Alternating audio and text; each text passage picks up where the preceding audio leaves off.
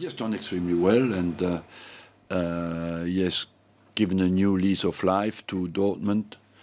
And uh, overall, uh, like every passionate uh, guy, uh, he's gone a little bit overboard when they played in Naples and the Spanish. I've gone through that, and but overall, you can only congratulate him for the quality of his job he has done. It's exceptional. Look, I'm honestly not uh, focused on any transfer policy at all. Uh, just uh, when you look at the moment, I have I'm spoiled for choice, and look at the players who are still out at the moment. There's no no Walcott, no Chamberlain, no Podolski, who are all out, and I don't even speak about the players like Diaby who are out.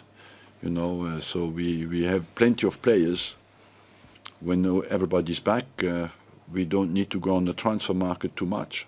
The, at the time, they were short of experience in the Champions League, and uh, since they have uh, reached the final last year, so they have certainly more confidence than before. But uh, basically, the, the core of the team is the same.